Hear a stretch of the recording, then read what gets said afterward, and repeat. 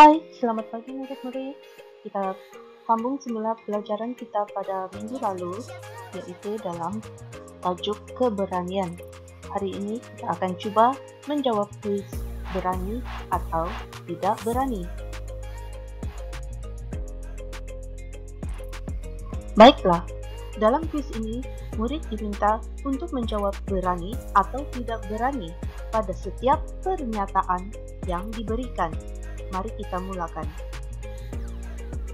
Saya melaporkan kepada guru apabila ternampak rakan mencuri dompet pelajar lain.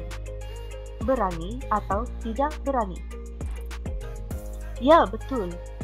Ini adalah tindakan yang berani. Bagus murid-murid. Pernyataan yang kedua. Saya hanya berdiam diri apabila dibuli. Berani atau tidak berani? Ya, betul murid-murid. Kita tidak boleh berdiam diri apabila dibuli. Ini adalah tindakan yang tidak berani. Pernyataan yang ketiga. Saya menyertai pertandingan bercerita walaupun berasa amat gemetar berani atau tidak berani. Betul, ini adalah tindakan yang berani.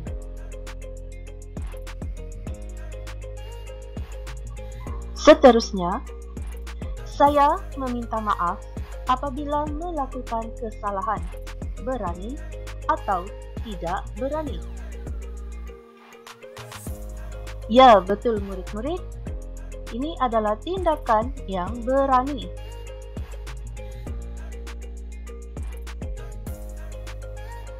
Baiklah, pernyataan yang kelima. Saya turut serta menconteng dinding tandas bersama-sama rakan. Berani atau tidak berani? Ya, betul murid-murid. Ini adalah salah satu tindakan yang tidak berani. Seterusnya, saya tidak mengikut orang yang tidak dikenali walaupun puas dipujuk. Berani atau tidak berani? Ya, betul murid-murid. Ini adalah tindakan yang berani. Syabas!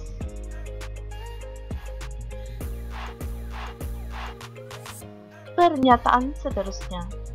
Saya menasihati rakan yang suka mengejek saya berani atau tidak berani? Betul sekali lagi, ini adalah tindakan yang berani. Jangan sesekali biarkan diri murid-murid dibuli oleh orang lain. Syabas!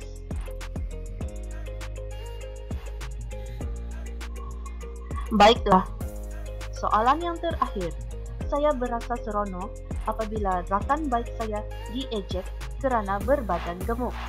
Berani atau tidak berani? Ya, betul. Ini adalah tindakan yang tidak berani.